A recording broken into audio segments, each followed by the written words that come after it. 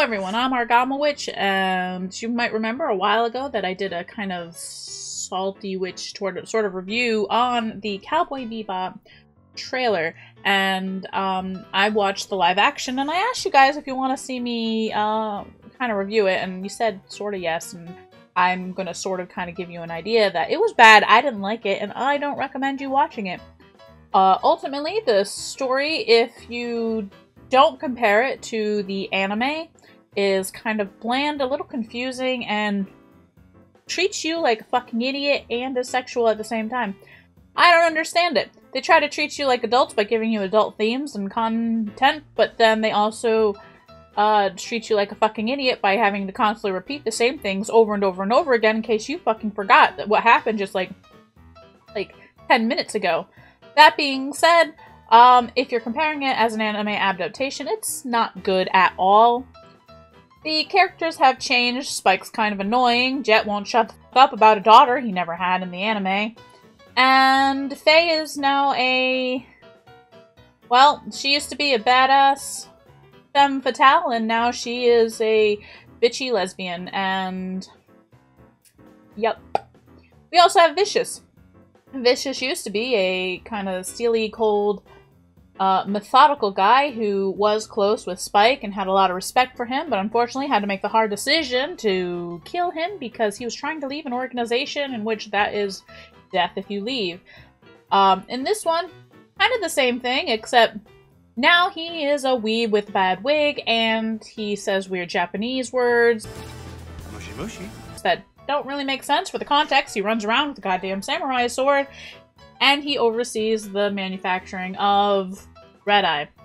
The series likes to show you a lot of lewd imagery, such as uh, women's tits, more women's tits, people having sex, dominatrix, smacking men, making them bark, stuffed animals, and BDSM gear, and uh, yeah, overall, I did not need to know uh, about Faye's orgasm, uh, nor did I need to see that she had sex with someone that she met less than an hour prior, because apparently she is uh, a loose lesbian. Overall, I didn't enjoy it. Uh, there were very few jokes that actually stuck. The visuals were alright at first. They're not bad. It's kind of pretty. It does have this this sound stage feel. It's not as pretty as the anime though. In the anime, everything was very bright and colorful, and even though you're showing various lengths, they used vibrant colors and, didn't make it feel like post-apocalyptic grimy shit, which they sort of did here, although they were using some CG in order to make the backgrounds um, kind of have more oomph to it, if you will. Overall, the cities felt very unpopulated. Everything did feel like a soundstage, and it would have been nice if they used some of that CG to kind of expand it on the background, more people, made it look, made it feel more lived in instead of so empty. Um, but yeah, I didn't think it was very good. Also, I didn't watch the whole thing, but I did watch the after credit scene with Ed, and oh my god, is that annoying as little shit. Bye! Spike Spiegel! You're spike! Cowboy! Bounty hunter for hire! Wake up! I have a job for you! Uh, no thank you. I do not want a sequel. I do not want that in my sequel. Um, yeah, so, uh, as far as this, I would say go f it.